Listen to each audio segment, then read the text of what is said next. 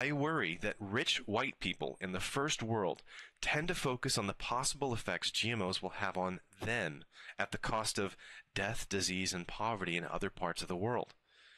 It's right to be concerned about possible allergy or fertility or toxic effects in humans or the population of the monarch butterfly, but contrast that with the 16,000 children who die every day of starvation the 1 billion people who go to bed hungry every day. I don't have all the answers on this issue, but I know whatever solution we follow, it needs to give consideration to butterflies, rich white people, but also the suffering and starvation in the world. We need to find the best and most ethical path, and the only way to do that is from a rational human perspective. Thanks for watching.